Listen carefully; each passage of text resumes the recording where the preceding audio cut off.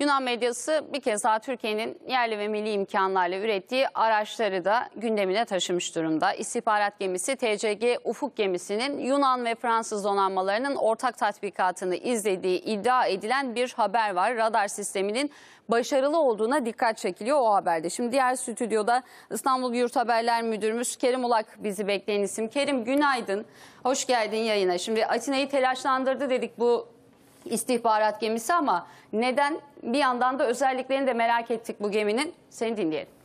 Teşekkürler, günaydın Cansın. Tabii günümüzde savaşlar sadece silahlarla olmuyor. En belirleyici unsur ise bilişim teknolojisi.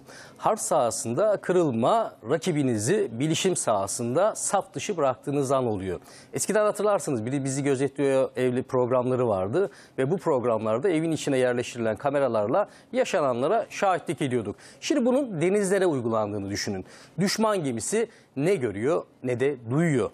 Ege'de bir tatbikat vardı 24 Eylül 1 Ekim tarihleri arasında. Orta Ege'de Bozbaba İskiri açıklarında Yunanistan ve Fransa çıkarma gemileri, fırkateynleri bölgede tatbikat gerçekleştirdi. Ve bu tatbikatı Türkiye'nin ilk ve ilk yerli istihbarat gemisi TCG Ufuk'un adım adım izlediği Yunan basınında yer aldı ki tabii şu an Ege oldukça hareketli. Bir yandan Amerikan savaş gemileri, uçak gemileri, bir yandan Fransız fırkateynleri, bir yandan Yunanistan'a ait fırkateynler, savaş gemileri şu an Ege'nin her yerinde tabiri caizse tabii Türkiye'de boş durmuyor. Şimdi tabii TCG Ufuk diyoruz. Türkiye'nin ilk yerli istihbarat gemisi. Bu istihbarat gemisinin özellikleri tabii karşımıza çıkıyor ki ben önce gemiyi bir göstermek istiyorum. Arkadaşlardan rica edeyim ekranlara getirsinler.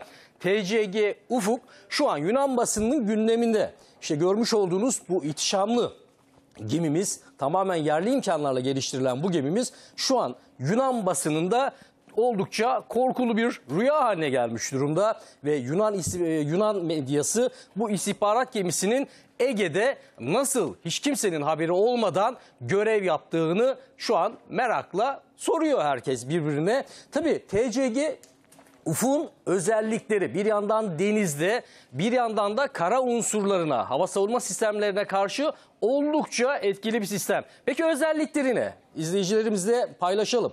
TCG Ufuk bordo numarası A591 istihbarat gemisi 9 Şubat 2019'da denize indirildi. Ve daha sonra 14 Ocak 2022'de Mavi Vatan'da Cumhurbaşkanımızın da katıldığı törenle göreve başladı. Aselsan, Havelsan gibi 194 yerli firma- firmanın katkı sunduğu bir gemi %80 yerlilikle inşa edildi ve uluslararası sularda 45 gün kesintisiz seyir yapabiliyor.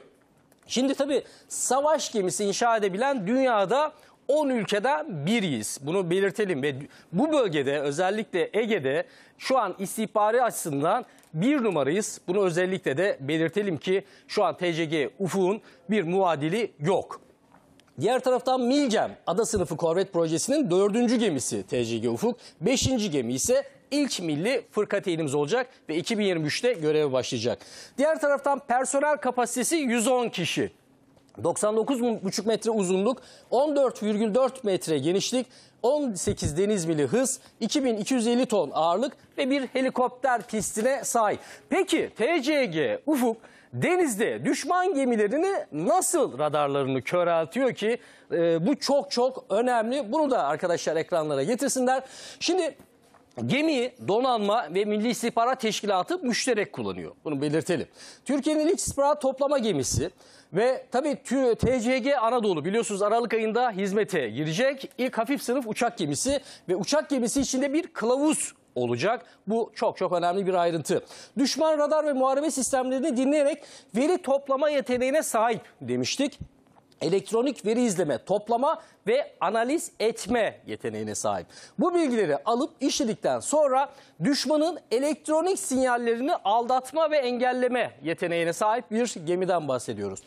Alınan veriler aynı anda deniz ve kara unsurlarıyla da paylaşılabiliyor. Hızlı, her şeyi duyan, hisseden, izleyen, görülmeden gören, hayalet gibi takip ettiği avını ıskalamayan kara kulak geminin simgesi Kara kulaktan antiparantez biliyorsunuz bu geminin bağlı olduğu liman Aksas deniz üssü. Aksas deniz üssü sivillere kapalı bir ormanlık bölge ve burada da kara kulakların yaşadığını biliyoruz ve bunlardan bir tanesi erkek olanın isminin de Levent olduğunu belirtmek istiyorum. Devam edelim arkadaşlar. Şimdi tabii sistemin menzili yaklaşık 200 kilometre. Geniş frekans bandında görev yapabilen bir radar sistemi düşman güçlerin radar sistemlerini kör ederek işlevsiz bırakıyor Koral.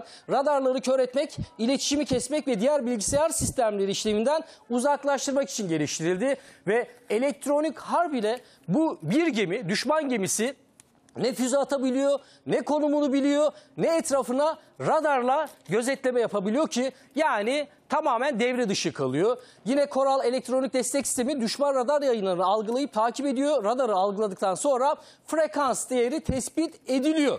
Daha sonra devreye tabii Koral, Koral elektronik taarruz sistemi devreye giriyor ve düşman radarlarının sinyallerinin düş- bozulması için karşı yayın yaparak düşman radarlarına karşı etkili oluyor. Evet diğer barkomuzu hızlıca verelim arkadaşlar. Tabii Koral'la alakalı baktığımız zaman bir yandan denizde bir yandan karada demiştik. Karadaki versiyonunu Suriye'de Barış Kalkan Harekatı sırasında görmüştük ve birçok Pantsir hava savunma sistemini devre dışı bırakmıştı, yok etmişti TB2'lerimiz. Bunun nedeni de Korallerdi ve düşman sahasında binlerce düşman unsurunu havada gösteriyor ve hava savunma sistemlerini tabiri caizse kafasını karıştırıyordu ve bu şekilde e, düşman hedefleri TB2'lerle tek tek yok edilmişti ki hakikaten dünyada belirleyici bir rol üstlenmeye devam ediyoruz Cansın.